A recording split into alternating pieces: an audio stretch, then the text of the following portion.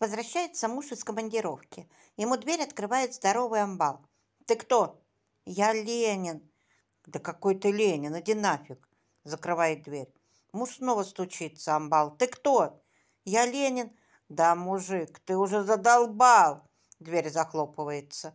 Муж снова стучится, амбал. «Мужик, ты чё?» «Я Ленин муж. Я вернулся». Квартире раздается звонок телефона, и жена берет трубку. «Алло!» – мужской голос. «А вы мужчину удовлетворить способны?» «Какой нахал! Да как вы смеете?» «Тогда объясните, почему ваш муж постоянно ходит к моей жене?»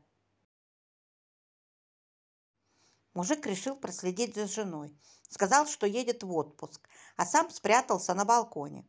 Приходит к жене сосед. Закрываются они в спальне. Мужик к двери, смотрит замочную скважину. Жена разделась, легла на кровать.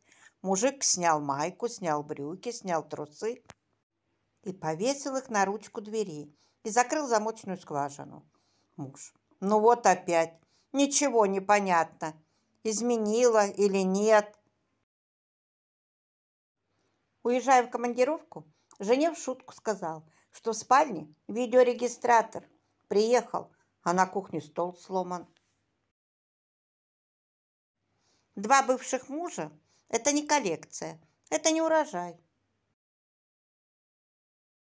Златочка, запомни, замуж надо выходить столько раз, сколько берут.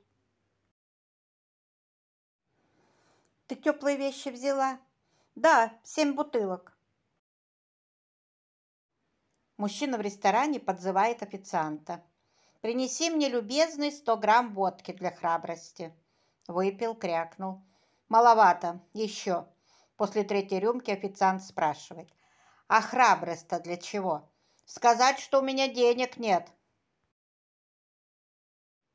Чем отличается корова от тёлки? У коровы на шее висит колокольчик, а у тёлки мобильный телефон. Золушка, я слышала, что твоя мачеха и сестры уехали на бал. Да ну, ты тоже хочешь? Я приготовила тебе подарочек. Платьице, туфельки, карету. Ты можешь ехать на бал.